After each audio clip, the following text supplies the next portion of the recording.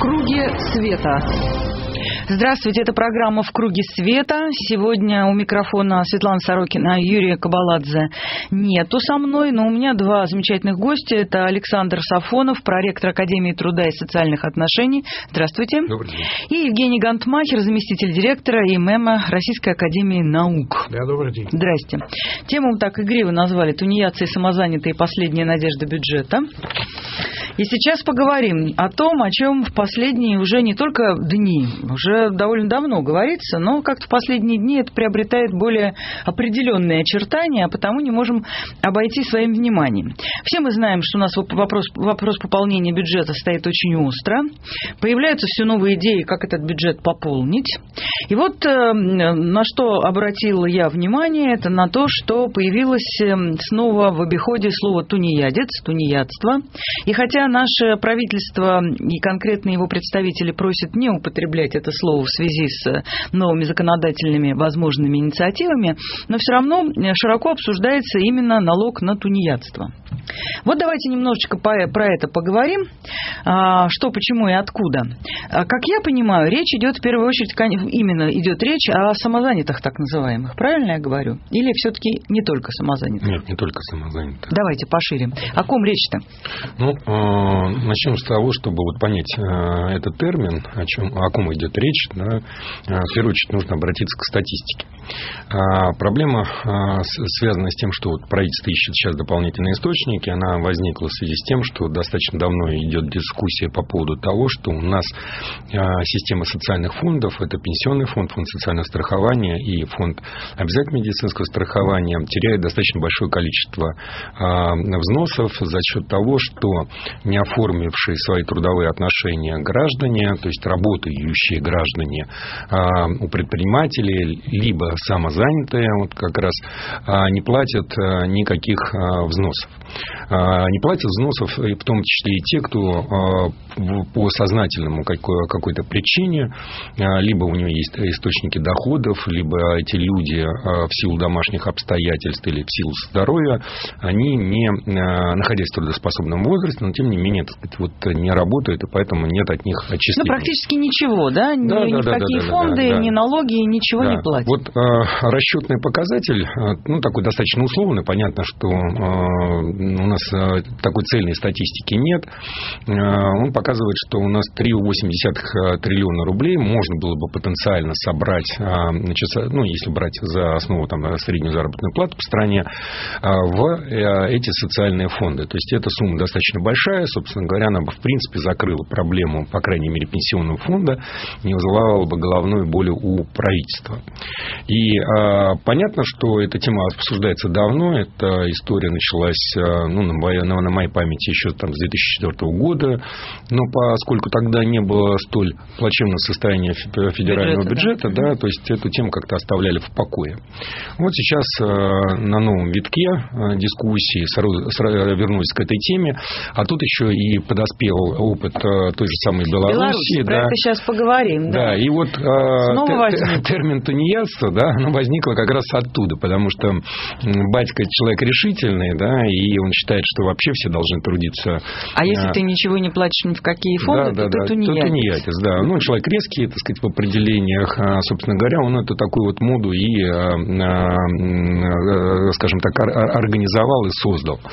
А уже после того, как возник вот этот белорусский опыт, на некоторых конференциях представителями труда об Стали этом говорить, заговорили, да, когда к ним обращались, о том, как вы оцениваете этот опыт, и вот они к этому относились а, положительно. Да? В прошлом угу. году как раз эта тема была, тоже вызвала очень большое количество нареканий. Ну, собственно говоря, вот эта история. А сейчас, в преддверии формирования бюджета, естественно, хотелось бы добрать дополнительные деньги. Тем более в ФОМСе, например, дыра там только на заработную плату в 500 миллиардов рублей. Естественно, очень хочется, да, очень заманчиво а, как раз найти такой дополнительный источник денег, при которых особо-то делать вроде бы, как кажется, там, член, э, членам там, правительства, делать не надо. Спасибо, да. А, теперь к Гантмахеру обращаюсь. Евгений, а отношение к этому, к этому начинанию? Я, причины понятны, да? Мое Но... отношение абсолютно однозначно. начиная от батьки Лукашенко, который восстанавливает у себя такой мини-советский союз, и вся вот эта а, отсылка к его, к его опыту, да, что вот Россия, ну, ну чем хуже Беларуси, да, ну, это, знаете, такие вот фантомные боли по Советскому Союзу, где, как известно, ну, было понятие в законе, тунеядство, мы помним, Бродский ну, был осужден. Ну, да, яркий пример. Но, да, понятно, это там, первое, это там, первое. в принципе, нельзя было нет, не, это первое. Второе. не иметь рабочего места. Ну, ну тогда да. ИП не было, да? Ну, да, да, ну нет, ну понятно, что была другая система, и все это, но сейчас она все-таки изменилась принципиально. Первое. Второе. Ну, если уж совсем просто посмотреть на нашу российскую конституцию, давайте иногда все-таки ее надо вспоминать, то если мы возьмем, допустим, услуги здравоохранения, да, вот сейчас ссылается, что люди не платят ФОМС, да, в ОМС, а, ну, там написано, что любой как-то гражданин Российской Федерации имеет право на медицинское обслуживание. Там как-то нет такого понятия, что вот ты платишь, ты можешь, ты платишь, ты, ты не платишь, ты не можешь. Поэтому я бы сказал так, э, ну, я не знаю, но любое, э, любое обращение в Конституционный суд, если предположить, что Конституционный суд у нас выполняет свою функцию, а после введения такого найдет, рода... Найдет противоречие. Ну, ну, здесь просто, мне кажется, это достаточно открыть нашу Конституцию. Конституция – закон прямого действия. Потом, э, есть вообще-то еще целый ряд уже более более сложных ситуаций. Ну, конечно, Александр говорил про эти там три с чем-то триллиона, но это ловушка. Все такого рода цифры. Знаете, а если бы у нас сейчас производительность труда была в два раза больше, то мы бы все с вами да. получали бы зарплату, я не знаю, там, тысячу долларов, там, даже больше в месяц. Что это такого типа? А, почему у нас действительно в тени находится, там, ну, есть разные оценки, да? Ну, много вообще. Ну, 20 миллионов. Кто-то, Голодец, сказал, 38, больше, да. по-моему, да? Ну, ну, у нас, э, да, да, да, Голодец вообще там определил, что 38. Да. 38 миллионов, ну, неважно, это большая ну, цифра. пусть 20, да. Не, ну, это большая ну, цифра. Ну, 20 это экспертная оценка, потому что данные Росстат э, нам показывают, что таких э, людей у нас всего лишь, так сказать, где-то приблизительно 15 миллионов человек, не больше. Ну, да, угу. да. Ну, хорошо, пускай 20. Нет, ну, ну, ну снова же, надо же понимать, что кто эти люди кто эти люди? они ну, очень разные. Ну, они очень разные. Нет, конечно, есть действительно часть людей, те же самозанятые, те, кто работает без оформления своих отношений, получают зарплату в конвертах. Ну, я понимаю, да, они не платят ни налоги, ни взносы, ничего.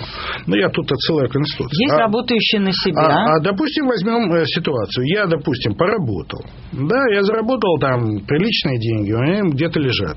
Я могу себе позволить там 5-10 лет, наверное, э, не нарушая никаких законов, да, за счет там, ну, рантье. Такая схема у нас существует.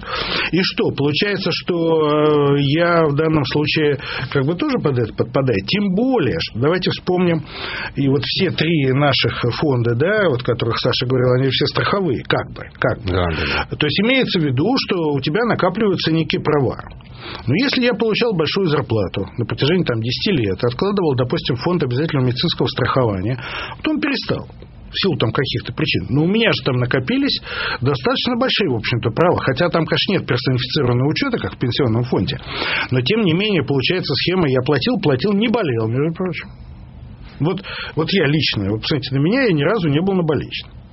Поэтому фонд социального страхования наш, уважаемый, вот э, за меня платит работодатель исправно, но я из него ничего не вынул, не вынул. Вот за все годы своей вообще достаточно длинной жизни. И получается, ну, я, правда, уже на пенсии, но если бы я не был на пенсии, мне было 50 лет, я, допустим, не работаю. Тут приходит ко мне из фонда социального страхования и говорит, слушай, дорогой, ну ты не работаешь, ну-ка давай э, плати. Ну, ну, понимаете, даже принципы элементарного страхования, то есть эквивалентности взносов и того, что ты получаешь, они даже вот в этом случае нарушается. Я уж не говорю про женщин, которые сидят с детьми. И Жень, миллион но разных тут ситуаций. ведь не так лобово о, звучит предложение. Не так лобово. Да, проскочило про то, что вот э, медицинское страхование нужно бы как-то, чтобы Ну, потому что, вот, как Александр правильно но, сказал, не хватает, а ну, остро не даже хватает об этом, денег, Даже об этом сейчас уже не говорится. Говорится о том, что надо просто ввести некий, может быть, фиксированный налог для таких людей, чтобы они его платили, и тогда ты на все имеешь право.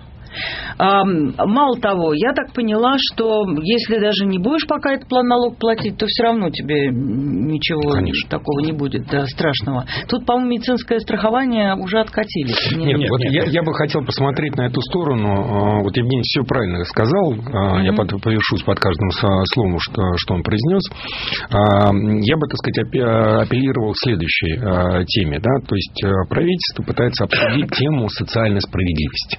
Они говорят, что одни вот участвуют в поддержании социальной инфраструктуры, а другие не нет. Но вот продвигая и продолжая тему, которую Евгений начал, я бы задался вопросом. Первое, да, вот возьмем тех, кто более всего там ненавистен людям иногда, да, с точки зрения социальной справедливости, рантье. Ну, во-первых, человек, который получает э, деньги э, от вкладов или от инвестиций, он в любом случае платит налоги. Да, и, соответственно, у нас на сегодняшний день нет такой ситуации, э, когда фонд соци... Э, медицинского страхования содержит, вернее, содержит всю медицину. Все равно идут, идет финансирование из бюджета, и, значит, люди, которые подоходный налог заплатили, они так или иначе поучаствовали в формировании вот этих средств, которые идут в ту ну, же самую медицину. Александр, и кроме того, рантье часто пользуются услугами платной медицины. Это, это само собой, я даже эту тему да. не обсуждаю. Да, это да? все-таки не самое. След, не самое. След, следующий вопрос, да, они, они участвуют в, в оплате НДС, да, когда ходят в магазины, покупают что-либо. Поэтому говорить о том, что они вообще ничего не вкладывают, да, ну, это э, абсолютно неправильно. Они участвуют в формировании бюджета, как федерального, так и регионального, только другим способом только другим способом. Кстати говоря, если говорить о бедных, это вот Саша сказал про богатых, да, раньше. А есть бедные люди, тоже в сельской местности, в маленьких городах. Та же самая медицина. Они не пользуются даже вот той государственной медицинской помощью. Очень часто есть известные данные о доступности, да, позакрывали же все эти мелкие больнички, ФАПы там и так далее. И э, у нас э, человек, может быть, вообще живого врача, вот, вот так вот, может видеть только там раз там, Еще и недоступно несколько лет. И получается, я еще из, и это не, и у, меня, у меня нет доступности, я еще за это плачу. Как раз, кстати, основная часть вот этих людей потенциальных, с которых хотят взять деньги, это жители малых городов, это жители сельской местности. Ну, это же понятно, да? Так э, тогда, извините, если я плачу, допустим, свои, сколько там, 20 тысяч... 20 тысяч, да, насчитал. Да, 20 тысяч насчитал Максим Анатольевич Топилин.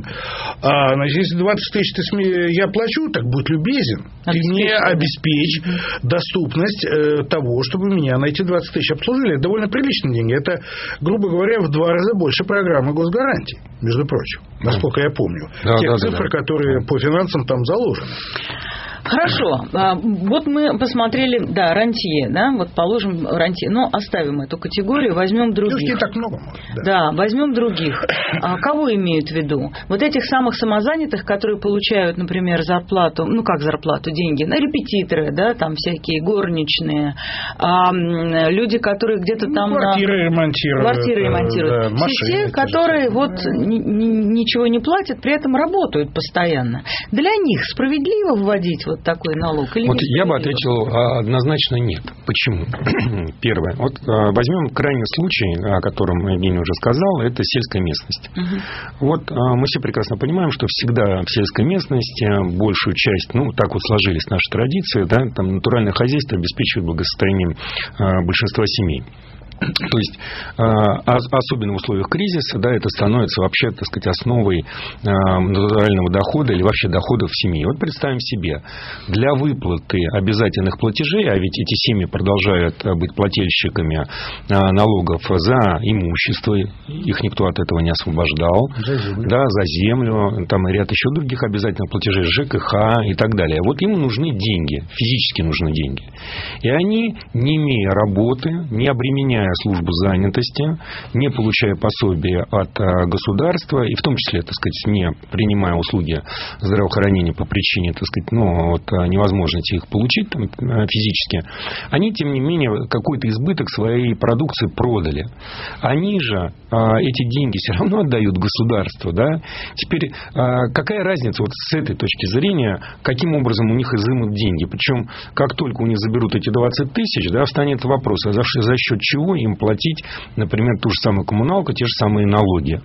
И а, об этом нельзя забывать. То есть то явление, которое мы сейчас вот с вами рассматриваем, оно настолько сложное, что не поддается вот таким простым, простым э, решениям, решениям да, mm. которые нам предлагают. Давайте всех осчастливим вот этими 20 там, тысячами. Александр, мы с вами, как те люди, все-таки прошедшие бюрократическую школу, практическую, понимаем, mm-hmm. что проблема-то в исполнении. Ну, хорошо, заявили, допустим, приняли закон.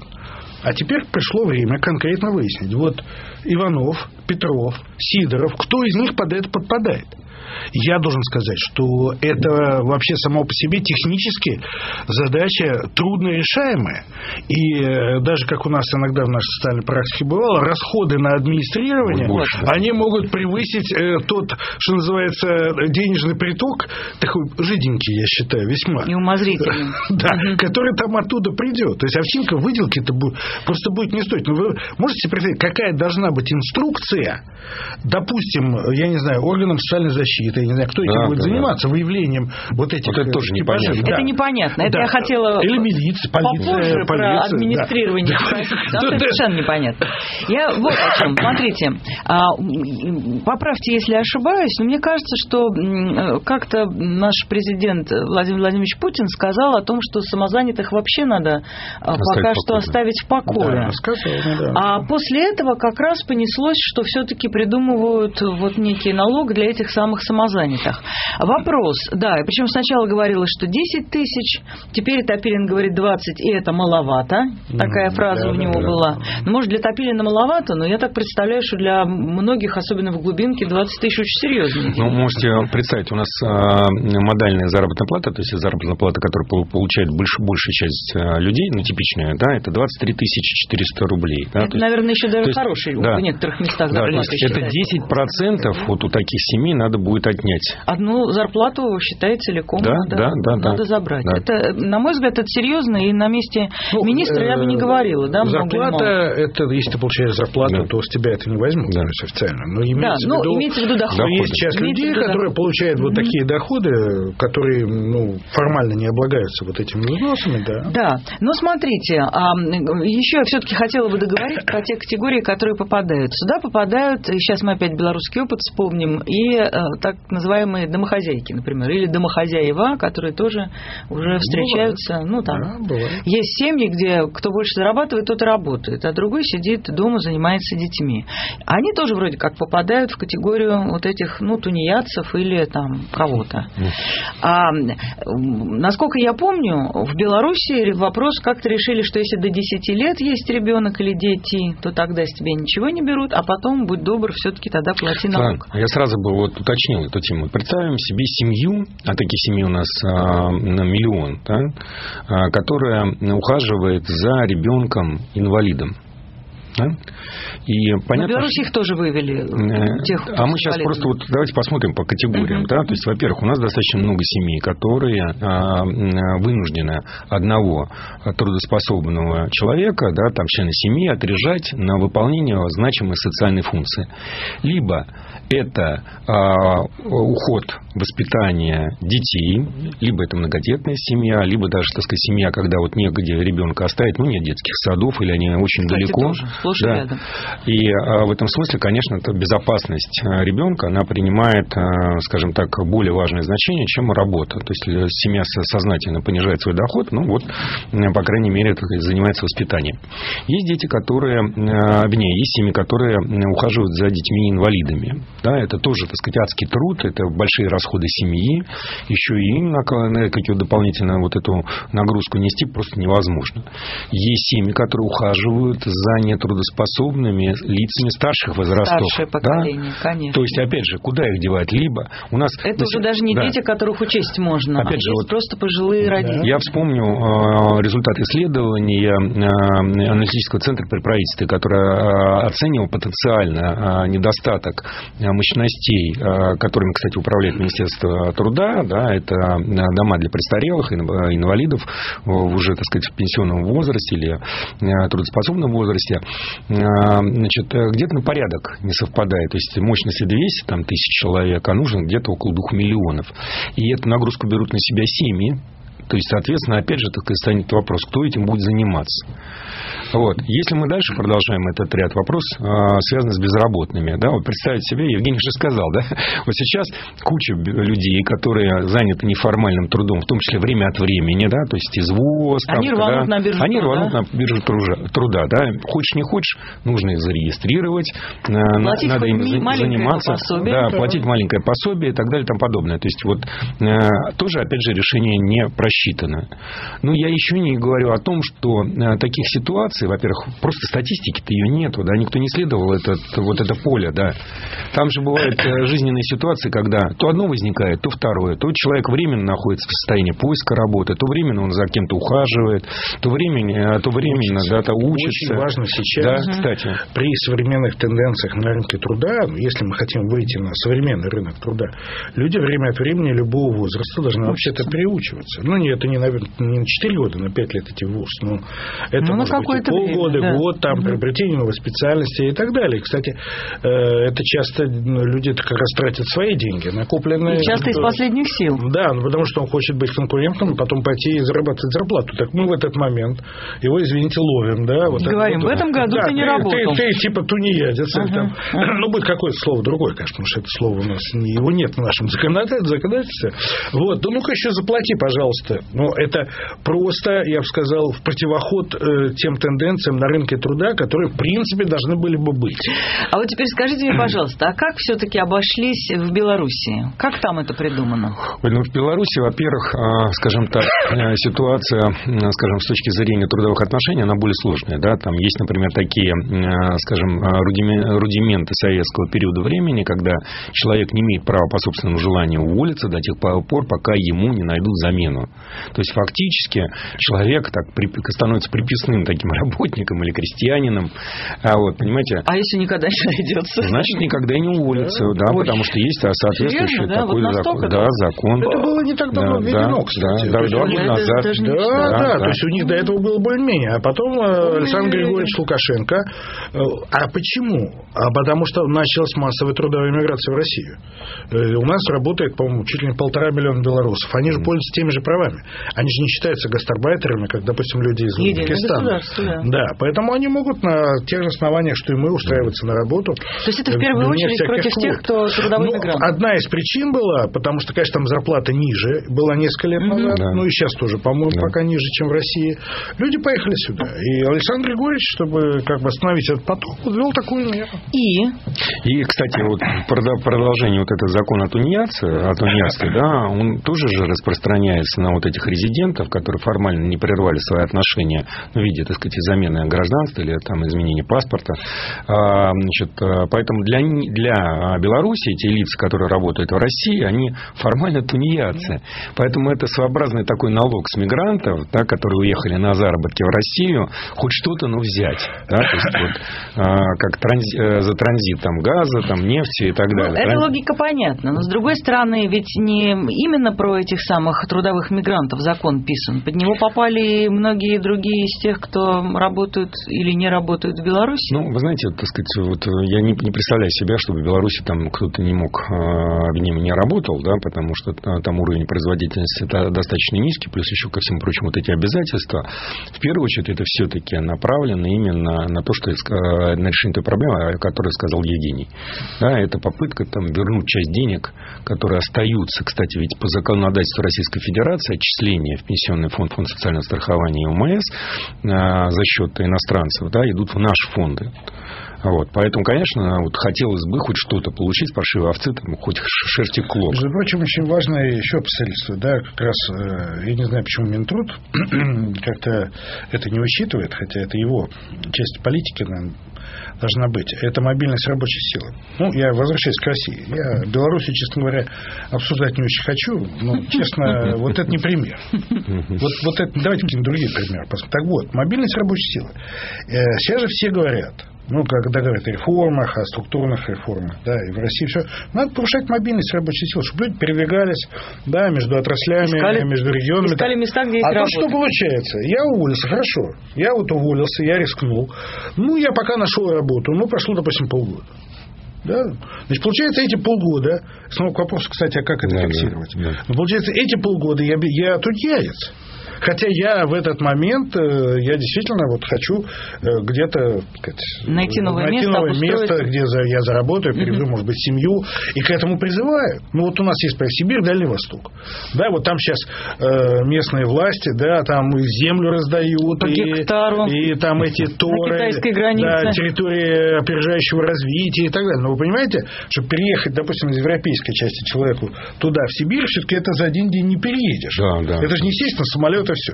Это целый огромный процесс. И получается, что в этот момент его поджидают какие-то люди, которым говорят, нет, дорогой, ты, пожалуйста, ну не 20 тысяч, но так как ты, в общем, полгода не работал, ну плати 10. 10 тысяч заплати.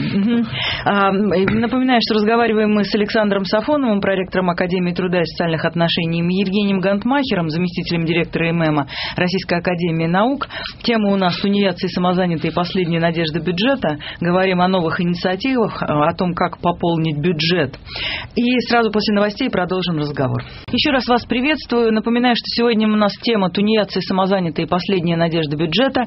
Говорим о новых э, инициативах, которые активно сейчас обсуждаются, о том, как бы хотя бы каким-то налогом обложить тех, кто не, ну так не знаю, не заключил хотя бы формальные отношения с работодателем, с государством и так далее. Напоминаю, что у меня в гостях Александр Сафонов, проректор Академии труда и социальных отношений, и Евгений Гантмахер, заместитель директора ИМЭМа Российской Академии Наук. А, итак, э, хочу немножечко к смс обратиться, к вашим смс-сообщениям. Напоминаю для всех еще раз, плюс 7 985 970 45 45. Уже есть много вопросов или реплик. Итак, э, пишет нам, сын закончил университет, живет репетиторством, математики стране не нужны. Усмехнулся, узнав об этих инициативах. Придется папа уехать от этих придурков написано в завершении этой фразы. А, дальше. А, у нас Платить 20 тысяч, пишет нам из Санкт-Петербурга, можно только в том случае, если эта сумма пойдет в пенсионные накопления с зачетом временного периода, за который она выплачивается в трудовой стаж. То есть нужно узаконить покупку пенсии, а не какое-то а, умозрительное медицинское обеспечение. Как Между вам прочим, такое? даже сами разговоры, я возвращаюсь к первой смс сами разговоры о подобного рода мерах, они могут быть и не приняты, я надеюсь. Угу. Что там на Но уже напугали этапе, многих. Да, они уже пугают. Угу. Они уже создают ощущение, э, что государство не так, так эдак тебя все-таки достанет. Угу. Да. А вот насчет того, чтобы было ясно, а куда, собственно, эти деньги пойдут и каким образом справедливо ими распорядятся. За законный вопрос? Ну, безусловно. Угу. Ну, ответ на этот вопрос как бы сформулировала э, Ольга Голодец, когда она выступала на слушаниях э, в Федеральном собрании э, она сказала о том, что это необходимо для поддержания социальной инфраструктуры. То есть речь не идет о пенсионном обеспечении, речь идет вообще в целом, так сказать, о социальной инфраструктуре. А это широкая категория. Это и школы, это и больницы, да, это и система там, э, э, социального вспомоществования, то есть много-много-много чего. Да? Вот, поэтому определенности такой, по крайней мере, вот в, в первых словах, в первых высказываниях, в принципе, нет. А, и вот сейчас а, мы просто можем догадываться, да, не более того, да, что же имели в виду. Вот. Поэтому я бы вот обратился все-таки к зарубежному опыту, да, что пытается решить за рубежом. Вот. вот если Белоруссия нам не указ, и даже ее не интересно особо рассматривать, там свое, да, а давайте посмотрим на, не знаю, там, ну, как какую-нибудь европейскую страну, например. Ну, я для сравнения взял бы, например, Германию давайте. да, и страны БРИКС. Давайте, да, вот давайте. Мы с ними Хорошо, давайте, да. А, значит.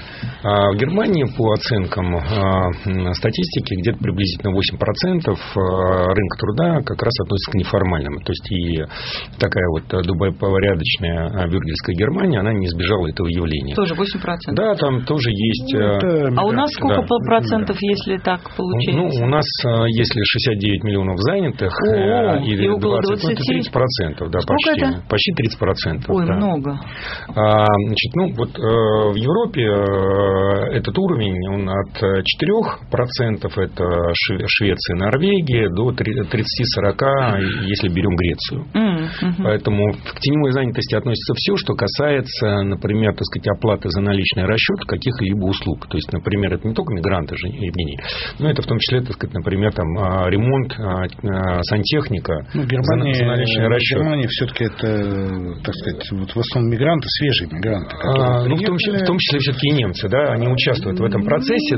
Другой вопрос, что... В Греции, да, да. Греция, учитывая ее да. ситуацию, там это, конечно, местное население. Это очень сложно, это очень сложно, да, значит, и с точки зрения того, чтобы вот, ну, как бы остаться вне поля, да, потому что сразу же вступает в ограничения, связанные с тем, что ты на наличности больше тысячи евро, например, заплатить не можешь, да, как только ты пытаешься произвести больше размер платежа, у тебя просто его не примут, да, поэтому есть вот такие физические ограничения, ты должен легализовывать все-таки свои доходы. Но, тем не менее, там и это тоже проблема есть. А, и как они действуют? Ну, вот я сказал, что они не действуют таким путем, что кого-то пытаются обложить. Угу. Да? То есть, а, принцип очень простой.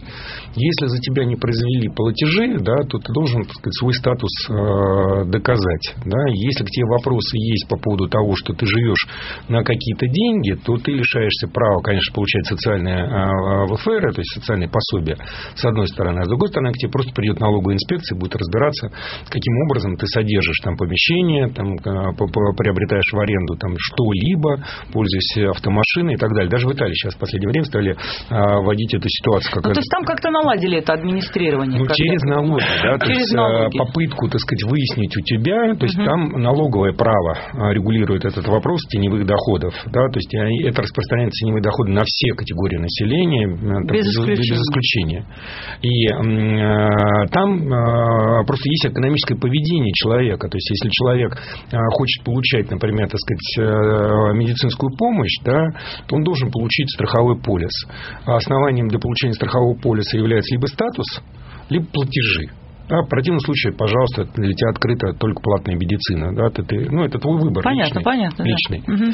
А, если мы берем э, страны БРИКС, то там внедряются минимальные платежи минимальные платежи, вот по образу и подобию Соединенных Штатов Америки, да, когда, например, а, за здравоохранение, а, например, да, там делится, категория, есть категория, категория здравоохранения, да, то есть а, здравоохранение по страховке, когда за тебя платят либо работодатель, либо ты сам, ну, да, сам, либо, значит, за бедных семей, семьи, там, по за бедных, да, не имеющих дохода, платят государство. Ну, значит, все остальные программы, да, Medicare, да, Medicare, да. Все остальные, так сказать, имеют право только исключительно на экстренную медицинскую помощь, ну, и это все, подчеркну, урегулировано законодательством. И там никаких... Это, Саш, это да. общественный договор. Да, общественный договор. Люди да. это знают с рождения. Угу. Да. Вот это очень угу. важно. Они ну, так да, они родились. Они родились в такой системе. Да. Это, и правила не особо меняются. Это, это да. правила, они, они, конечно, с нашей точки зрения, может быть, иногда и довольно жесткие, но такие но правила они есть. там а Вот спрашивают, а в Соединенных Штатах Америки как этих а, самозанятых и тунеядцев учитывают? А, там же наверняка там никого не учитывают. Там, там Никак не никого не учитывают. А, там более, скажем так, мягкое налоговое законодательство. То есть, например, там есть ограничения, а, связанные с тем, что если семья получает, э, например, доходы до определенного уровня, с нее вообще никаких а, налогов не берут. И более того, государство, как я уже сказал, оплачивает за них эти страховки, в том числе, если это работоспособные граждане. Угу. Да? Если есть люди, которые вообще... Если мы возьмем школы, школы. Там вообще такой связи нет. Если у тебя ну, есть ребенок, это он, ходит, да. он ходит, ты тунеядец. Не тунеядец, все равно в школу ходишь. Да, да, потому что это тоже это элемент понятно. их э, как бы, социального да, поля. Да, да. Угу. Тоже все дети должны ходить Иметь в школу. равные возможности. И никто не спрашивает, да, э, ну, кто у тебя родители в этом. Слушайте, ну вот да. Э, как раз полно реплик и жизненных историй. Как мне быть? Я инвалид с детства, мне выписывают лекарства в месяц на 15-20 тысяч рублей. Нужно еще там на что-то жить. Официально работать не могу зарплата учителя не покроет нет, нет, расходы. Я думаю, что инвалиды не рассматриваются. Я тоже проекте. думаю, что инвалиды, но где-то была вот еще смс где инвалидность сняли. А, ну если Работать сняли. не может в полную силу если все равно, сняли, инвалидность сняли. И говорит, и как мне, в общем, жить, но в этом случае, потребует. если, не дай бог, так сказать, этот закон будет принят, то первое, что должен будет этот человек сделать, он пойти и стать на службу, в службу занятости. Вот. Я думаю, что это первое, что будут нас, делать... увеличится число инвалидов. Да. Я думаю, что люди да. побегут... Им да, будут проходить да, все эти трудные процедуры там, по... конечно, волокита, волокита большая, но пойдут. Но будут стараться быть инвалидами что... и зарегистрированными безработными. Потому что некоторые сейчас... ситуация была уже. Да. Некоторые сейчас не делают этого просто потому, что это тяжелая процедура с этой инвалидностью, да, а потом пойдут. Инвалидность пойдут. легко, да. Пойдут, пойдут. Мы, кстати, всегда эту тему подчеркивали, говорили, что любое, любая попытка неуклюжего движения, да, вот с точки зрения там, продления пенсионного возраста, да, так сказать, это одномоментные вещи. А, значит, они всегда приведут к тому, что человек, вынужденный легализовать свое положение по здоровью, начнет это делать. Если сейчас ему экономической необходимости да, или социальной необходимости этого нет, то есть государство позволяет ему там работать и, например, получать пенсию или там не работать, значит, и там э, по какие-то получать доходы, то здесь он будет вынужден получить социальный статус. Кстати, Генеральный счет отлично помнит эту тему, связанную, например, с монетизацией льгот. Когда предполагали, что в 2004 году принятие закона быстро приведет к тому, что мы отделаемся от определенных категорий, которые, кстати, тоже не учитывали, да, несмотря на то, что к этому готовились намного дольше, вот, а не смогли все равно учесть, потому что базы, так сказать, расчетной не было, и нам эта монетизация стала в два раза дороже, чем предполагалось. Это правда. Смотрите, нам напоминают, недавно Силуанов сказал, что средства пенсионного фонда направить на погашение кредитов ВПК. А как же проверим, куда денутся средства от налога вот этого нового Никак. на самозанятых? Никак, Никак не проверим, должна вам Они сказать. поступают в казну, это же даже да, это... взносы в, в Кстати говоря, меня тоже как-то неприятно поразило, что на ВПК там что-то будут направлять из, из пенсионного ну, деньги фонда. Накопительные уже который год используются по такому, я бы сказал, сиюминутному назначению. Помним, Крым, э, было тоже сказано, по-моему, Силуановым, что вот деньги первые пошли на Крым, угу. теперь вот на эти кредиты ВПК, которые вообще там сотни миллиардов э, рублей. Ну, это правда, неприятно. А, Ирина пишет, лучше прижали бы фирмы, которые не хотят показывать официальную зарплату. Это же легко сделать. Сотруднику они говорят, увольняйся, если не устраивает. Ну, потому сотрудники и молчат. Только когда их уволят, тогда они начинают вспоминать о том, что им серую зарплату. Вы знаете, во-первых, а, не совсем так а, однозначно я бы эту тему трактовал. Почему? Потому что разные события есть. А, у нас в регионах активно, кстати, опять же, этот опыт был достаточно развит, когда есть такой механизм, как повышение регионального размера заработной платы. Если платят меньше, да, то приглашают налоговые инспекции к себе, ведут спасительные разговоры, после этого разговора начинают платить. То есть инструмент есть. Вопрос в другом, да, вот экономически, а может себе работодатель это позволить, позволить. или нет? Вот Понимаете? Он же тоже нет хорошей жизни, Кстати, это все делает. Понимаете, вот меня, меня бы эта тема не удивляла, если бы не было э, истории, предыстории. Да, с 2004 года по 2015 э, год у нас размеры теневой занятости только увеличивались. Да, это даже в условиях там, экономического некого роста. Почему? А по той простой причине, что иные условия для ведения бизнеса, они просто неприемлемы, неподъемные. А, ну, представьте себе ситуацию. Вот мы тысячи раз об этом говорили, что а, вот малый бизнес, он создается, да, там, он должен развиваться, откуда-то взять деньги. Единственная а, возможность у него накопить это что-то, да, это сэкономить на государственных платежах, да, то есть на налогах. Другого источника нет. Угу. Если бы у нас было так же, как в Европе или в США, он пошел бы, взял дешевые деньги в банках, и за счет этих денег развивался. А так а, он говорит своим работникам, ребята, ну вот какая у нас альтернатива? Либо я закрываюсь, да. либо, так сказать, вы принимаете правила принимаете игры. То, что есть, да. да. Это понятно. Из Питера пишут, я плачу каждый месяц зарплаты. Ну, все налоги, видимо, это отчисления. И что? Какую инфраструктуру я получаю? Что именно? Ну, это правильно. Законный вопрос, как, совершенно э, справедливо, да. Мы уже говорили на примере здравоохранения. Да, значит, возмутились, что Топилин говорит, что 20 тысяч это даже маловато. А, а какой налог платят самозанятые в США? Ну, э, скажем так, я уже говорил, там нет единого налога. То есть, э, э, там вариация налога идет где-то приблизительно 13%, да, до 40% до 40. Но все это зависит от, того, сколько вы получаете. То есть, если, например, так сказать, у вас доходы там, не превышают 20 тысяч ну, в долларов в год, с вас не берут никаких угу. налогов. Как только вы превысили этот порог, там, ну, условно говоря, до, до там, 50 тысяч, да, вот действует там налог, по-моему, 18%, да, ну и так далее, да, то есть он регрессивный. Чем больше ты зарабатываешь, тем больше ты платишь, да, то есть вот а, такой подход. Совсем нахальная смс из Москвы от Михаила. 12 лет для всех безработные. Работаю фрилансером для японских телекомпаний. Доход 5 тысяч долларов в месяц. Хрен им, хрен им а не 20 тысяч налога. Вот такие нахальные тоже есть, да. А все реставраторы, лепщики, маляры, мраморщики и прочее самозаняты с 90-х, пишет Наталья. Ну да, вот нас тут спрашивают, а кто же все-таки попадает в эти самые самозанятые? Это самые разные люди, которые не оформили каких-то официальных да, отношений. Но скажите мне, пожалуйста, огромное количество этих смс сейчас вернусь, но скажите мне, пожалуйста, а все-таки, ведь это много, чуть не 30% много. людей, которые вне правового, правовых трудовых отношений. А что с этим все-таки делать? А как надо-то? Нет, вы знаете, э, ведь... Жень, поближе. Да, вот есть в экономике вообще совершенно элементарные законы, да, которые говорят о том, что если ты начинаешь повышать налоги, то в первый момент может быть чуть-чуть увеличиваться их сбор. Но потом после определенного предела, есть даже рассчитанная формула, э, сбор падает. Потому что люди либо уходят в тень, либо разоряются.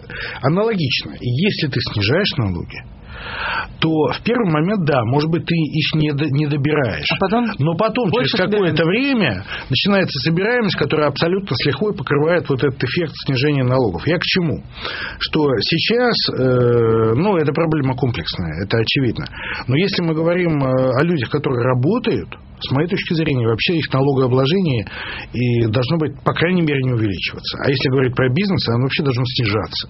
Если мы от него чего-то хотим. Конечно, еще много чего другого. Я, это, это растянется еще на целую передачу, uh-huh, uh-huh. что еще надо. Но, в частности, вот как вот в нашей нынешней ситуации, конечно, должно быть снижение налогов.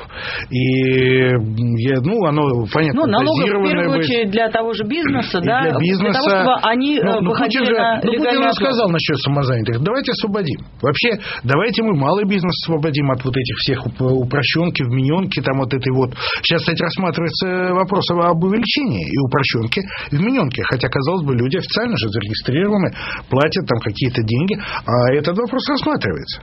И угу. я думаю, в течение ближайшего года-двух он точно будет решен в сторону повышения. Ну и какое, какое развитие экономики? Поэтому э, вот если будет э, налоговое бремя снижаться, развиваться. И если у бизнеса еще за счет много чего другого появятся стимулы, ну вообще людей появятся стимулы работать и так далее, ну тогда проблем не будет. Тогда даже те же многие нынешние фрилансеры, для них, может быть, будет выгодно действительно пойти что-то заплатить, хотя бы, например, для того, чтобы э, немножко накопить себе на пенсию.